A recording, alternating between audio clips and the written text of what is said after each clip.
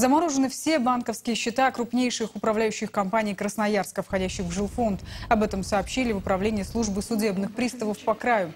Арест наложен на имущество, транспорт. Кроме того, из касс изъят 1 миллион рублей.